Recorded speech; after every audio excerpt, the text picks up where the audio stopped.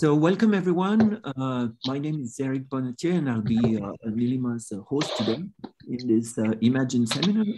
We're very happy to have you, Nilima. And uh, um, let me just say a few words about uh, your whereabouts. Uh, you got your PhD in 1999 from the University of Delaware. And then you were the recipient of an IMA industrial postdoc. Um, and after that, you have, you have several positions, and particularly at uh, McGill and uh, at uh, Simon Fraser University, where you're now a full professor. And uh, your uh, field of interest, your topics of interest are PDEs and the numerical analysis of PDEs. And especially you're looking at spectral problems and scattering problems. And uh, today uh, you will talk to us about wave enhancement through spectral optimization. And again, welcome and thank you for uh, giving us this talk. Thank you very much, Eric, and everyone. I'm, I'm really excited to be here. Uh, and please let me know if um, anything cuts out or if you can't hear me. And if you have questions, I'm happy to try and answer them along the way. Um, so what I'm going to be talking about today is joint work um, with Kthim Imeri, who is now a postdoc with me at SFU. And he's formerly a student of Habib Ammari at ETH Zurich, who is also a collaborator on this, and with Oscar Bruno at Caltech. And what we're trying to achieve here is wave enhancement through spectral optimization.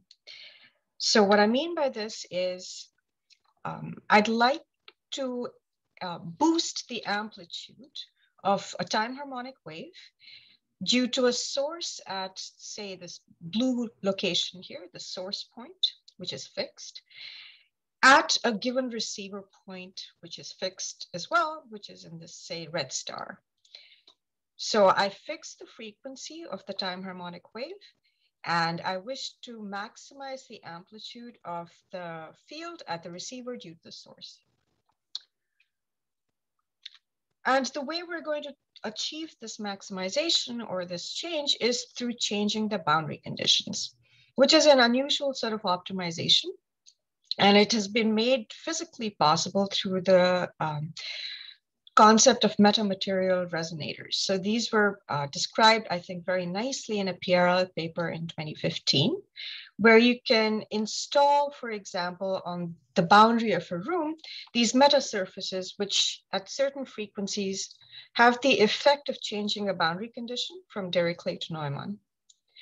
And these were analyzed in a sequence of papers by Habib and his collaborators uh, in 2019.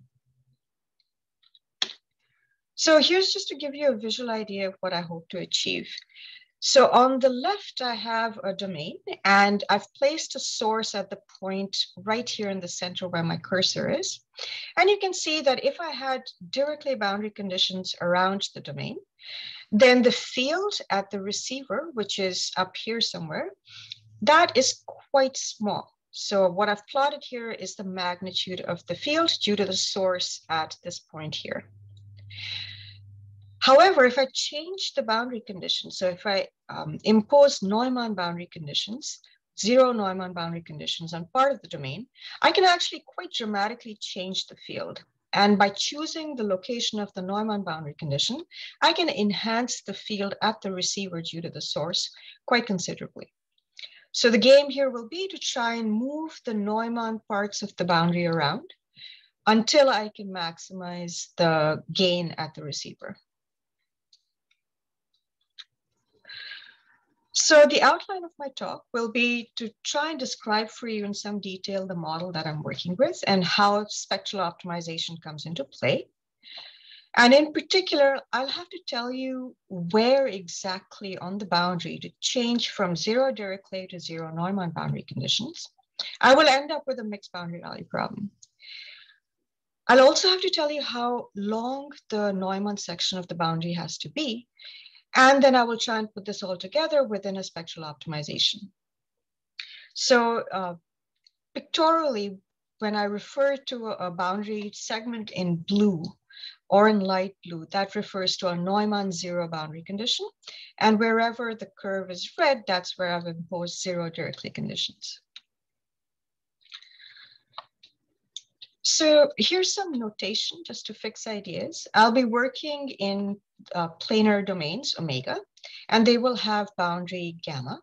These will be benign domains, so I'm not thinking of anything particularly horrible. Lipschitz is good.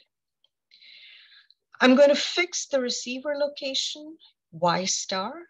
I'm going to fix the source location, x star, and I'm going to fix the target frequency, k star. So all the starred variables in this talk refer to objects which are fixed.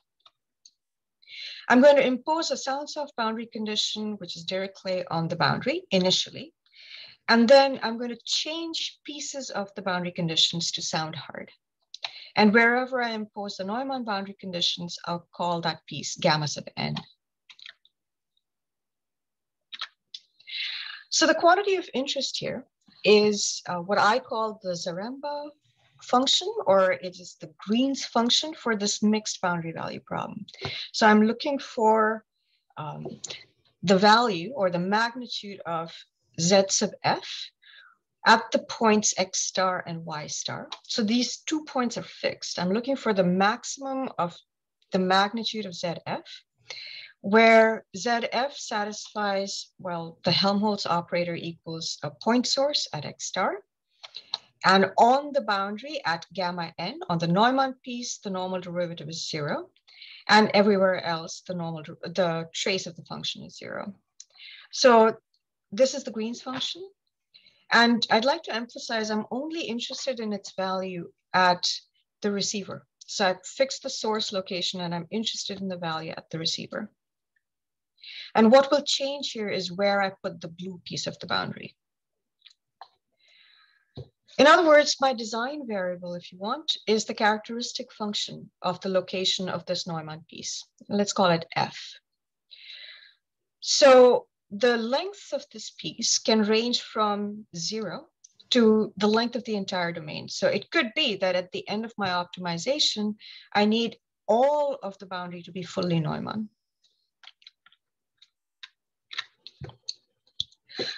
So the optimal, yes, sorry, go ahead. if you allow me, just a question, uh, does it have to be connected? Yes, yes. Okay, thank you. Mm -hmm. I, I think that's a very good question. And I have not yet thought about the multiply connected case, but in principle, many of these techniques should carry on. But it's, right. it's a great question. Thanks. So the optimization that I'm interested in is the following. Um, I have some admissible configurations and the design variable f associated with them. And I'd like to achieve the maximum of the ratio or the gain um, corresponding to the Green's function where I've changed the Neumann data suitably compared to just starting with pure Dirichlet. So this is the quantity of interest. And once again, here's the boundary value problem, if you will, that I'm solving for Z sub f. So the initial attack on this problem due to Habib and his collaborators was a so-called one-shot approach, where you not only find the location of where you put the Neumann boundary condition, you also decide how long it's going to be. And it's, it's an approach which works quite well, but it requires a solution of the PDE with different boundary conditions at every step of the objective function calculation. So this is a somewhat expensive calculation and um, they were interested in something different. So the approach that was suggested um, was actually where the spectral bit of the title comes in. So there's a very nice characterization of the signal, um, Z sub f, in terms of the eigenfunctions of the related problem. So you change the boundary conditions wherever you need to, and then you solve for the eigenfunctions of the Zaremba or the mixed Dirichlet-Neumann eigenproblem, where you're looking for the frequencies k or k sub m, depending on how you're counting, you're fixing the normal derivative to be zero on the Neumann part, and you're fixing the Dirichlet condition to be zero on the rest. So here you locate both the eigenfunction and the frequency. So how are these two problems related? Well, there is this spectral characterization or the decomposition. So the Green's function for the fixed target frequency k squared, provided it's not an interior eigenvalue, uh, you can expand it using the basis functions of the Zaremba eigenvalue problem where you've placed the Neumann piece exactly where you had placed it for the Green's function. So these are right here, the basis functions for the Zaremba problem. In the denominator, you have the target frequency squared minus the eigenvalue squared, and then you sum over all the discrete eigenvalues. So you can see that one way to achieve a maximum for z sub f at two points x star, y star is to, well, make sure that k star and some eigenfrequency km squared are close. So you can make the denominator small and that would make the sum large. So this was the idea behind what we are going to do. And another ingredient here that's really important is we're going to be starting with a pure Dirichlet boundary condition. And we don't know where to even begin inserting the Neumann pieces. And once we do, we don't really know a priori how changing the length of the Neumann piece is going to affect the spectrum. But this is where there's a very useful spectral monotonicity result that's quite recent. It's um, from 2017. And the statement is the following. So consider the situation where you have a domain and two possible partitions of the boundary. So the partitions are gamma d, gamma n, where you prescribe zero Dirichlet on gamma d and zero Neumann on gamma n. And suppose you had a different partition. So you have gamma d prime and gamma n prime. And suppose, moreover, that gamma n prime is contained within gamma n. So there is a smaller Neumann content, if you will, in this problem. So provided the, the Dirichlet piece is actually bigger, so the, the set gamma d prime without gamma d has a non-empty interior, then you shift the spectrum down. So the spectrum of this problem, the jth eigenvalue is going to be smaller than the jth eigenvalue here for the mixed problem.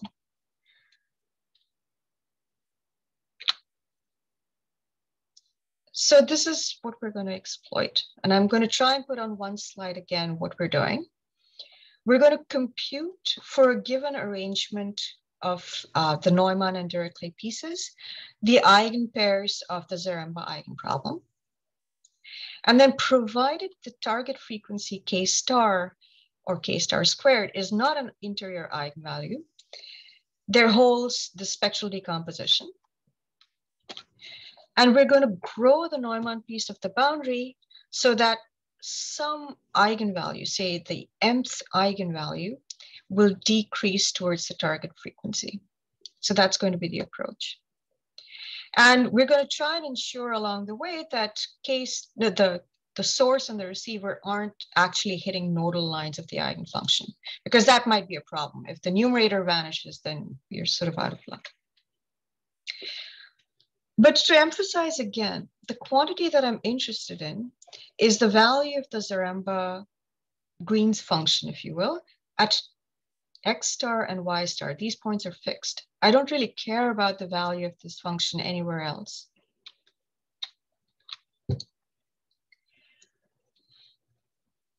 So, well, I'm going to be using a numerical approach. So I'll be truncating the spectral characterization at, say, n modes where n is large enough.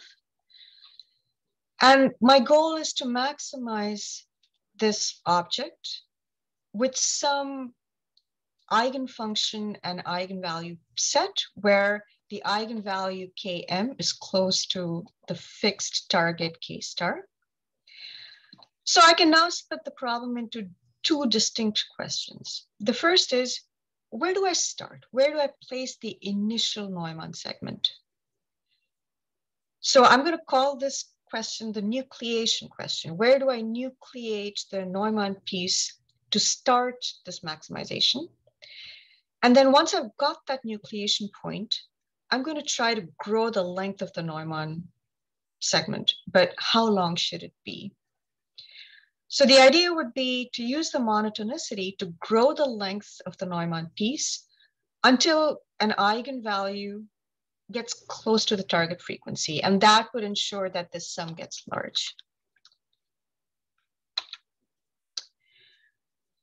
Now, of course, if I'm going to be working with eigenvalues and eigenfunctions, I need to get these eigenvalues and eigenfunctions somehow. And it's um, helpful if you get these eigenvalues and eigenfunctions to some high accuracy. So the approach that we use is a boundary integral approach for the mixed Dirichlet-Neumann problem. And this was developed in collaboration with Eldar Akhmetgaliev and Oscar in 2015. So the pieces, again, will be some kind of a high accuracy computation of these mixed eigenvalues. I'll use the monotonicity of these eigenvalues in the growth of the Neumann piece of the boundary. And then uh, a result that I will exploit a fair bit is the asymptotic behavior of the eigenvalues when I change the Dirichlet to Neumann piece just a little bit.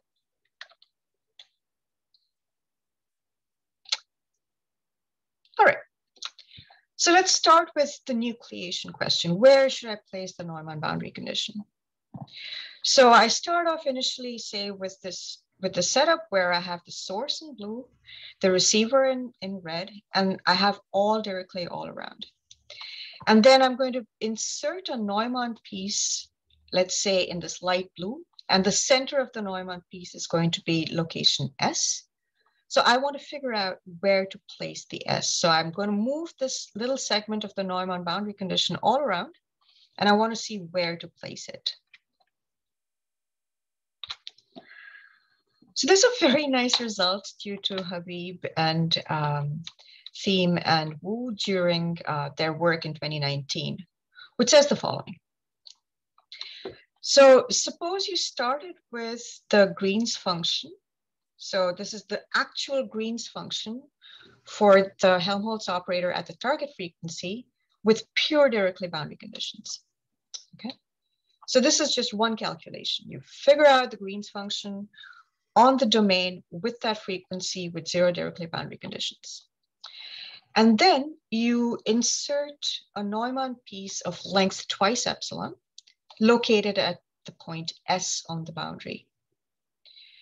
And then you recompute the new Green's function or the new Zaremba function, Z sub f. So the asymptotic statement is the difference between Z sub f and the original starting Green's function is um, minus epsilon squared times a constant times the normal derivative of the Green's function times the Green's function, and you're evaluating the normal at the point S. And then you have some, some small terms. So the item to focus on is this product right here, this does not depend on the location of the Neumann piece right now. So this is just based on the Green's function associated with the pure Dirichlet problem. And so you're going to try to locate the point S so that this product becomes extremal. So it's just an optimization over the location of S. There's exactly the same boundary condition for all of the points in this optimization. It's a very low dimensional optimization. It's very fast. So this is how we locate where to start the process of growing the Neumann piece. So once you've decided where you're going to stick the Neumann piece, you have to grow it. So now we're going to fix the location and we're just going to extend the Neumann piece from there. This is where um, you have to work a little harder. So the monotonicity result states that if you add Neumann boundary pieces, that shifts the spectrum. So if I start with the original problem with zero Dirichlet everywhere, I'm going to pick the first mode, the first Dirichlet eigenmode, which is bigger than the target frequency. And then I'm going to keep extending the Neumann boundary pieces so that this eigenmode or this eigenvalue moves close to the target. So the red pieces in my spectrum will shift to the light blue pieces as I keep adding Neumann boundary conditions. And I'm going to keep trying to do this until I get close to the target frequency in green.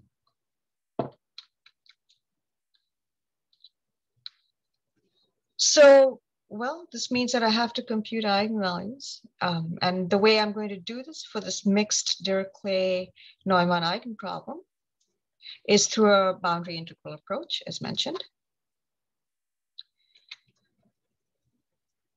And why do I do this? Um, there's a few reasons. So I, I favor the boundary integral approach because we need highly accurate eigenvalues.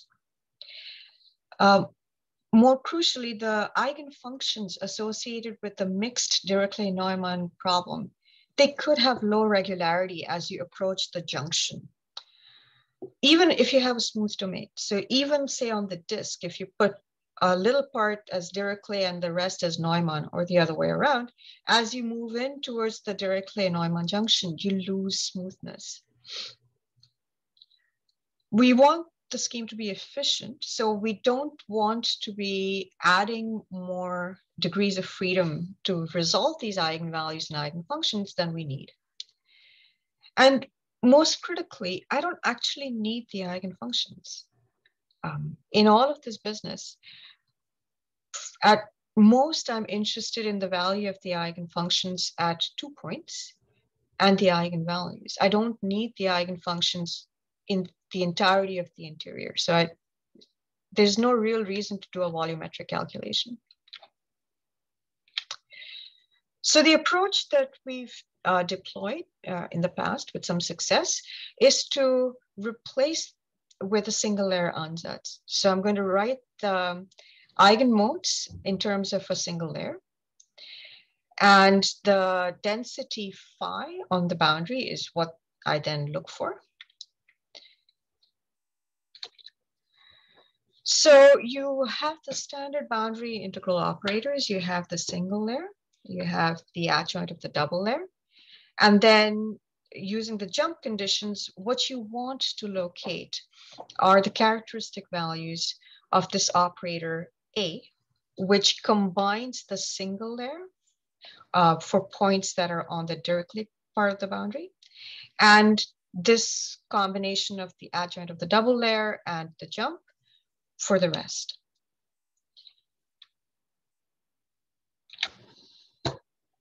So in other words, I'm looking for um, the characteristic value mu and the eigendensity psi so that uh, the single layer is zero on the Dirichlet part and this should be a psi, not a phi. Um, so the jump plus the adjoint of the double layer is zero on the Neumann part. The characteristic value mu is related to the eigenvalue of the Zaremba problem through the square. So in, in, a, in a single shot, um, if you tell me where to put the Neumann piece of the boundary, the problem has reduced to finding the characteristic value mu and the density phi so that, um, well, phi and mu are related to the operator A in the obvious fashion. So what I have achieved through this is reducing a volumetric calculation for an eigenproblem. So this problem, which is posed for all points x in the domain, I reduce it to solving for the eigendensity and the eigenmode mu on the boundary. So there's a dimensional reduction here. It comes at the cost, perhaps, of going from sparse matrices to dense matrices. Um, on the other hand, if it's done carefully, the payoff is worth it. It's really worth, worth it. And here's a, a small example. So on a disk, for, for instance, if I, if I use the approach that um, we developed in previous work, we use a spectral collocation approach for the boundary integral operators. Suppose I were to prescribe zero Neumann on half the circle and zero Dirichlet on the rest. And I were to look for the 18th eigenvalue, say. Well, the degrees of freedom all live on the boundary. Uh, the location of the degrees of freedom are illustrated over here. So you can see it's, um, it's like a Chebyshev mesh on each part. There's a couple of different ways to solve for the eigenvalues. Um, they are differentiated by whether you're using a Fourier continuation based quadrature or whether you're using a graded mesh quadrature. On the right, I show you the error in the 18th eigenvalue. So with a thousand points on the boundary, you get 15 digits. Um, and if you were to use a graded mesh solver, again, you get um, 10 to the minus 9 in error.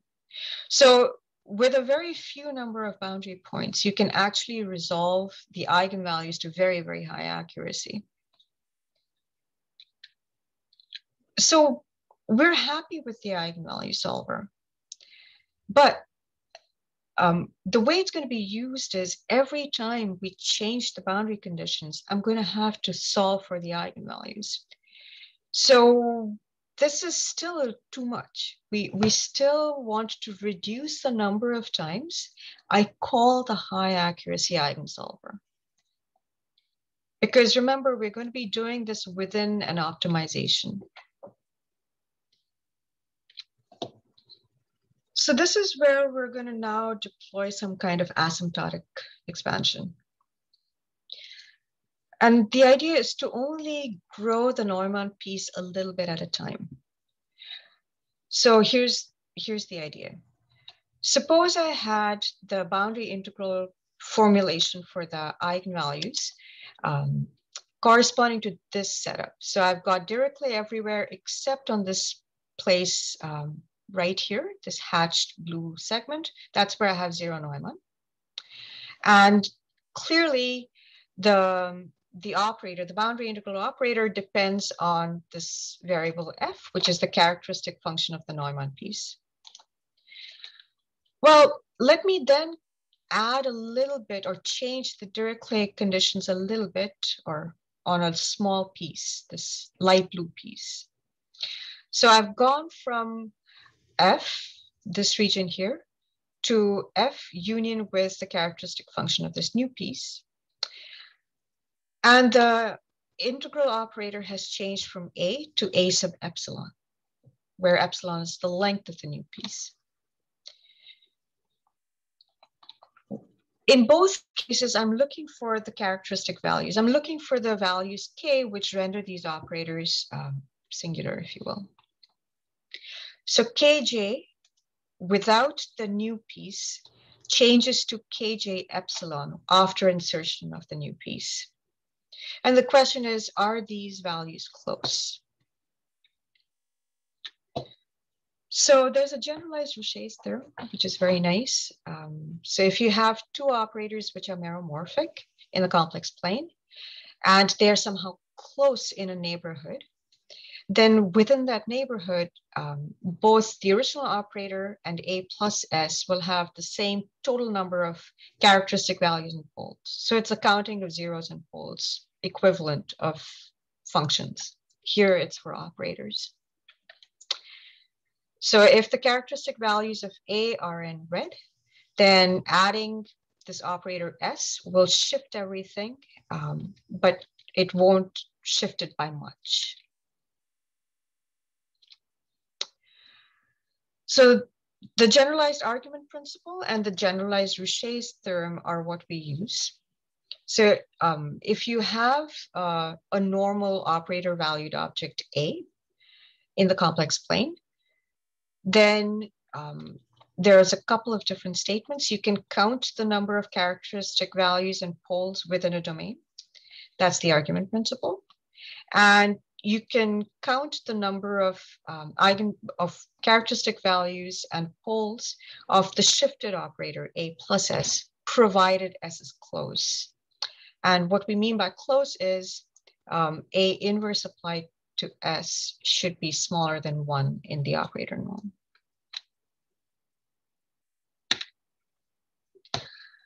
So our integral operator, the combination of the single layer on the Dirichlet piece and the adjoint of the double layer plus the jump on the rest, that's analytic and Fredholm of index zero. So if you start with some configuration and then you change the Dirichlet boundary condition to Neumann on a small piece of length twice epsilon, then the amount by which you shift the characteristic values can be described through this contour integral. And it's very nice. Um, the one downside is you have to integrate the inverse of the operator around the contour. So this is not super useful because I have to invert a boundary integral operator um, as I go around a contour.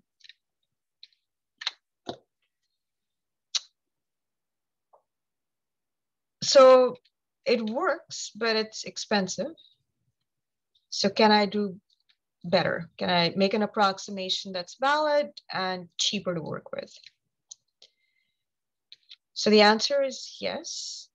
Um, and the statement is the following. So provided I have a simple eigenvalue, so a simple characteristic value, then I can find, or there exists a length epsilon and a neighborhood in the complex plane of this characteristic value so that when I increase the Neumann piece by twice epsilon, then the jth characteristic value um, is also within a neighborhood, a small neighborhood of the original one. There are no other characteristic values that come in there. So I shift the spectrum only a little bit. And there's an asymptotic expansion. So the difference in the characteristic values can be written down as something that's an integral that only depends on the unshifted operator and something that's small.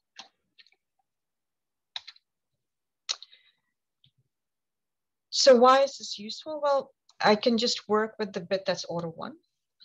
Um, if I had a good approximation of the characteristic value, without the insertion of the new bit, I can get a very good approximation to where that eigenvalue moves using one matrix assembly and inversion of the operator at one point. And then I just do a trapezoidal rule. So this quantity here doesn't change as omega changes. So I'm going around the contour in the complex plane. I don't have to do this inversion or this matrix inversion more than once. So this allows me to change the, the Neumann pieces without actually redoing the eigenvalue calculation uh, as I grow the length of the Neumann piece. So I can do this in steps of up to twice epsilon. And I only need to do a recalculation of eigenvalues once I've drifted beyond a certain tolerance. So once my eigenvalues have moved by some tolerance, I say, okay, now I'm not sure I should use the asymptotic expression anymore. Let me recalculate the eigenvalues um, using the integral approach. So here's a sketch of the algorithm. Um, you give me the domain omega, the target frequency k star, and the fixed source receiver pair. I'm going to start by first computing the pure Dirichlet eigenvalue corresponding to k star, such that it's um, bigger than the target frequency. The first eigenvalue for the Dirichlet problem that's bigger than the target frequency. Then I'm going to find the location S on the boundary where I can nucleate the Neumann bit. So I'm going to determine the location S so that it optimizes using the order epsilon squared approximation um, for where the location should be. And then once I fix the location, I'm going to grow the Neumann piece. And that's that's going to be using the generalized argument principle. And that's where the eigenvalue calculations will be done. So does this all work? Um, well, yeah. Um, I performed the high accuracy eigenvalue calculations for some partitions. And then I can keep growing the Neumann piece wherever I can using the asymptotic formula.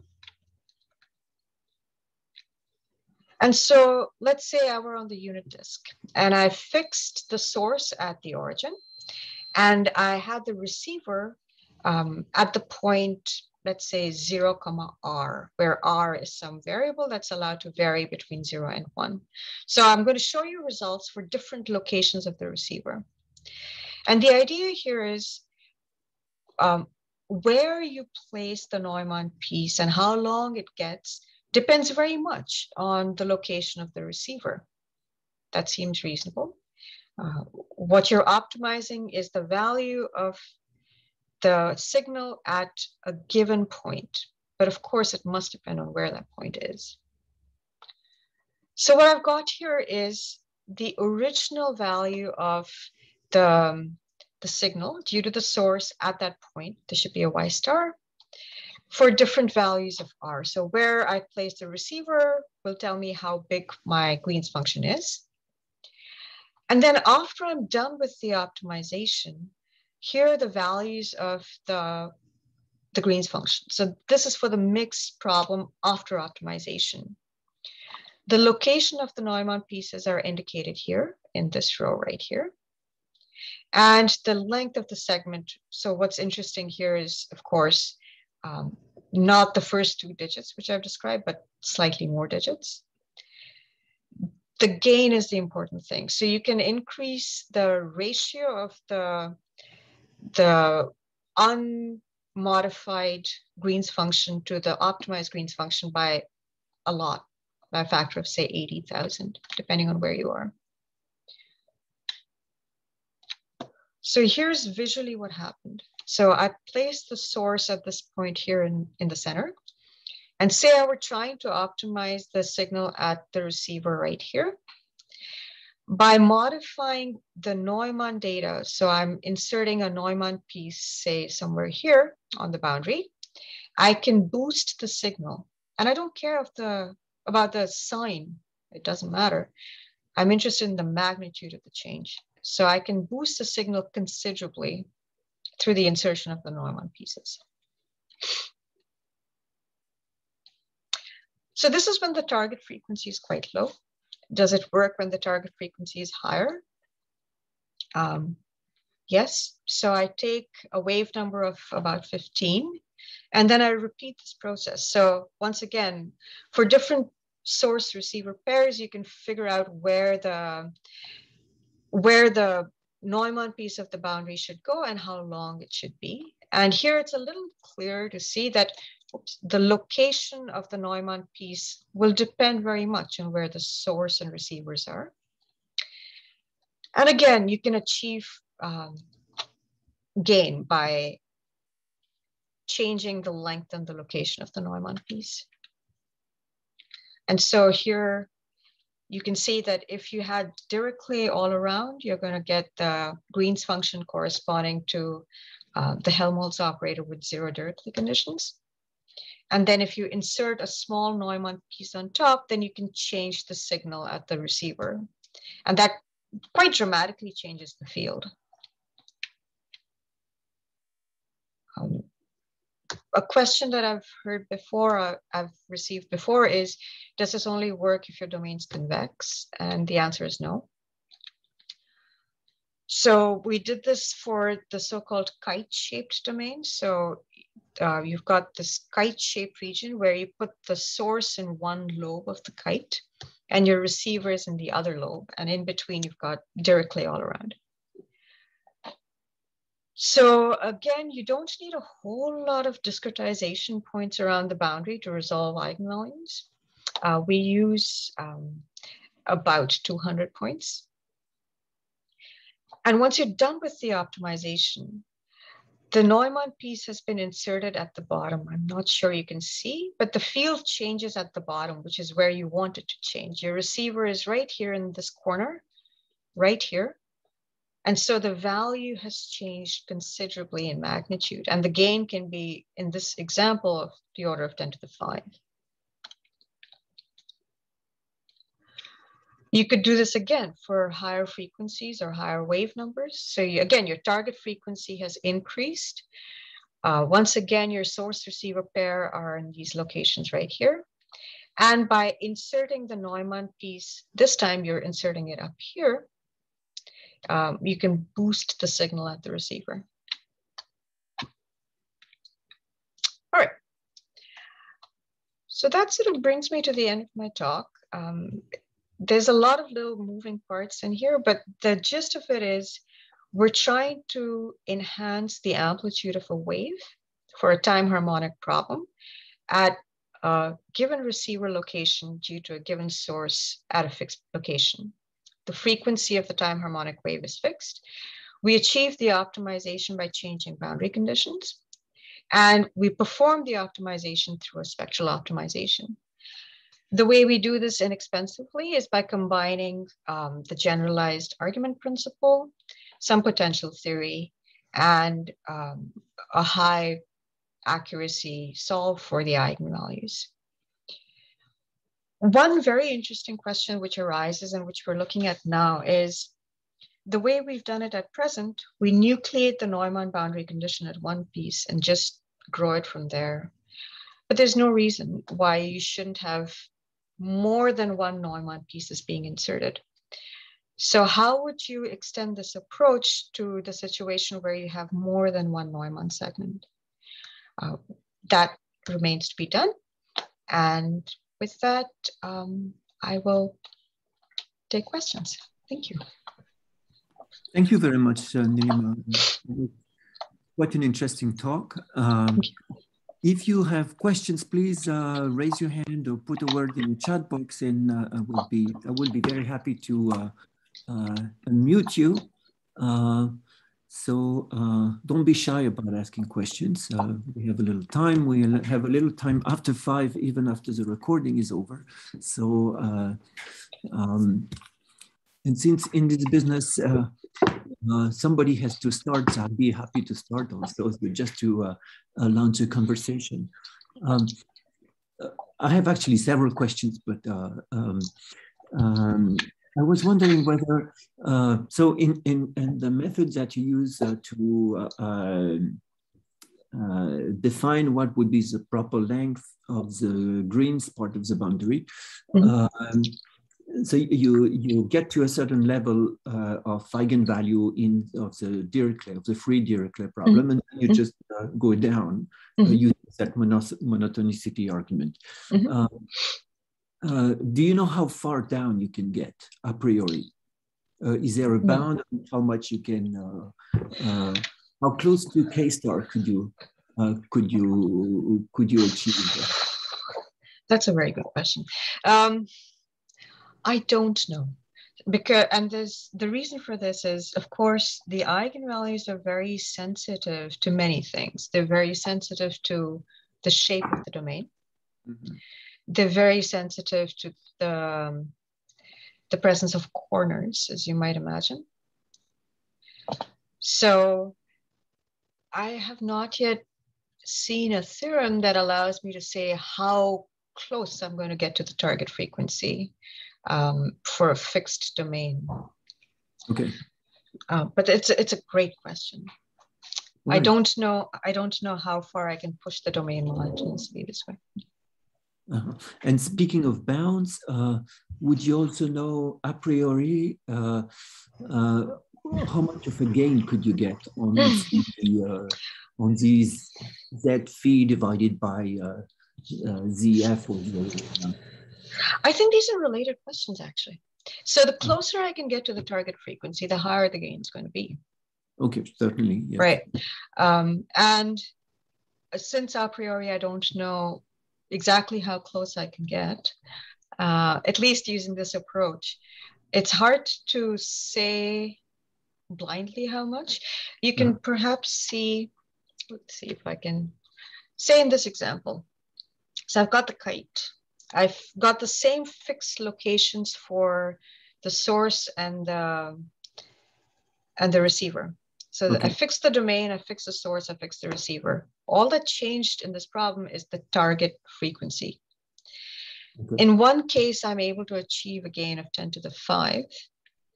And for the higher frequency, the gain is still is still non-zero or non-one, but it's not 10 to the 5. Okay. right? So I think if I picked a slightly different wave number K star, I might get a different gain. But it, it's a very good question, Eric, and I don't know how to answer it right now. And do you expect a higher gain for lower frequencies? I don't have any particular reason to believe that. Okay. Mm -mm. I think it depends on how close I can get to it. All right. Okay. Mm -hmm. uh, I'm uh, I'm chatting the chat box, so uh, don't be shy. And uh, uh, if you have questions, uh, any kind of questions, please feel free to to ask. and Oh, but I, I have uh, one question, maybe. Yes, Michael. Uh, uh, uh yes, uh, thank, thank you for your interesting talk. So um, your starting location S seems mm -hmm. to mm-hmm. be pretty unique is or because to, to me this optimization problem and as long as you start this initial location, you will mm-hmm. grow mm -hmm. your Neumann boundary condition.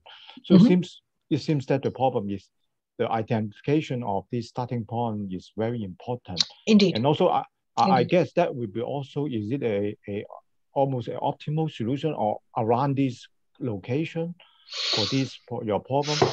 Otherwise, you, you may consider another location that may mm -hmm. give you a, uh, another good point. And so, so I, I just curious about about this. Also, may be related to what you say. If you have a more than one right. segment, correct? Actually, this is a, a very, very good question. So let, let me skip back. Um, this is a deep question and it's, um, let's see where to go. Yeah, right there. Yeah, yeah. So what we've done is we've got an initial optimization mm. problem in which you're optimizing the location and the length. Hmm. We have split this optimization now into two stages. One is where we optimize the location and then we optimize the length. But you're absolutely correct. There is no um, there's no reason that you couldn't improve the objective function by having, say, two different locations and then growing differently. So we've chosen a particular path in um, our state space to try to optimize, right? We're not doing a one-shot optimization. So the one-shot optimization would be um, together, I locate the location and the length. So at each step, I change both. Mm -hmm. But that's not what we're doing here. So what we're doing here is indeed, we're picking a particular path in state space. We fix a location first, and then we grow. But maybe the maximum that we get that way is not the not the global optimizer. Mm-hmm. That's a possibility. Yeah. Mm-hmm. I think in the earlier paper, uh, Ammari, they, they haven't shown about any uh, optimizer? I mean, the global optimizer, something no, like that. They, no, they haven't. No, yeah. No, there's there's no. I'm I'm not asserting that I'm actually getting to the global optimizer. I'm I'm getting to a local maximizer mm. in this direction of my search. I see. Yeah, yeah. It's actually really, it's a fantastic question, right? So, yeah, yeah. um, it's not a priori clear to me why you should have one piece or two pieces or n pieces of the Neumann data. Um, it's not a priori clear to me how long those pieces should be. So if you think about this problem in all its possible generality, it's almost intractable. Mm -hmm. Right? In, in the formula you're showing here uh, on the screen, you have yeah. an epsilon square as an error term. Uh, mm -hmm. Is that dimension dependent? This, yes, it, I think this is dimension uh, dependent. I don't know what the, I don't know what the result looks like in three dimensions, but yes, I, I think that has to be dimension dependent. Okay, all right, mm-hmm. okay. And uh, uh, another question uh, also in this direction, uh, you're looking at a Helmholtz equation, you have a yes. target frequency, but does that hold also for free, zero frequency? Ooh. Uh... With just a um, uh, conduction equation. It should. I mean, you'd still have a spectral characterization. So you'd still be able to um,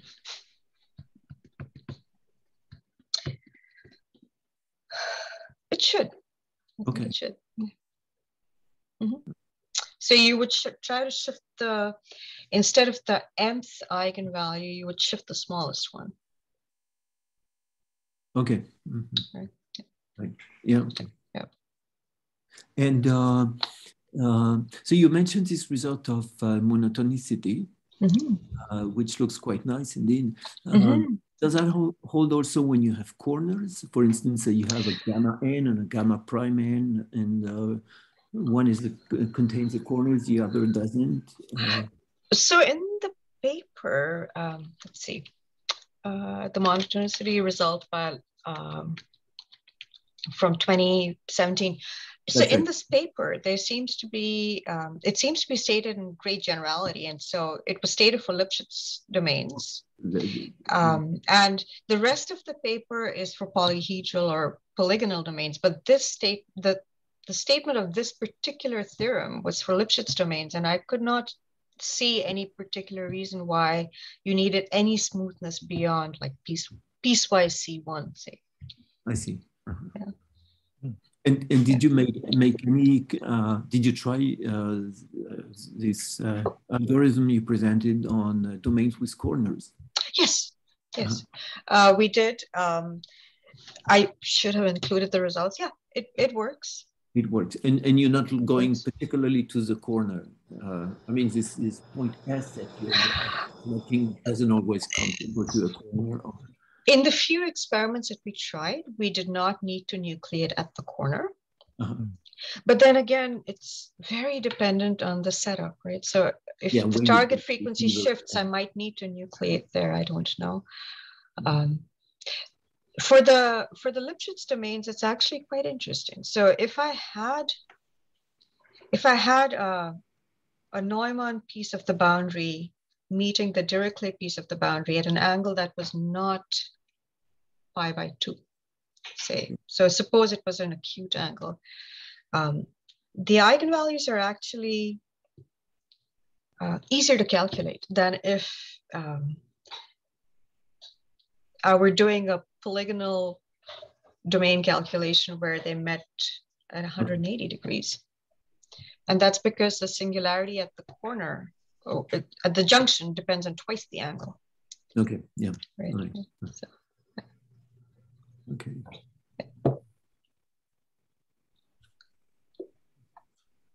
Well, I guess Michael and I are the only ones to ask questions. Uh, the yeah, to be. Uh, uh, anyway. Um, I can stop sharing. Yeah. Just look at the things I noted on if I had any other uh,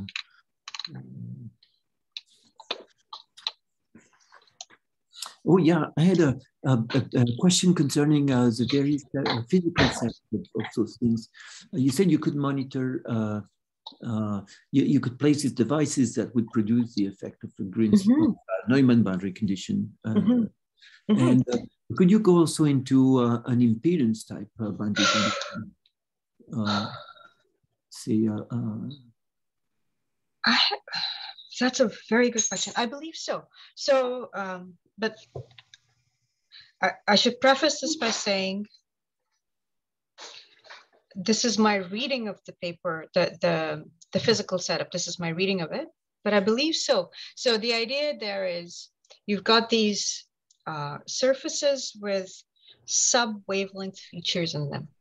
Okay. And then you set you have this nice setup of resonators. So you have like a few resonators, and then you fix one, and then you can vary the other ones, turn them on or off. And then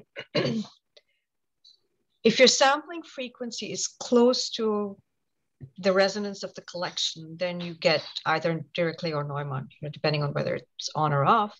But if you're away from it, I think it is an impedance boundary condition. This was my reading of the, of the, the work. Okay. Yeah. Okay. And, and those devices, you can also use them on, on typically much smaller landscapes than, mm -hmm. than the associated frequency with which you're going to emit from X star to Y star, right? Yeah.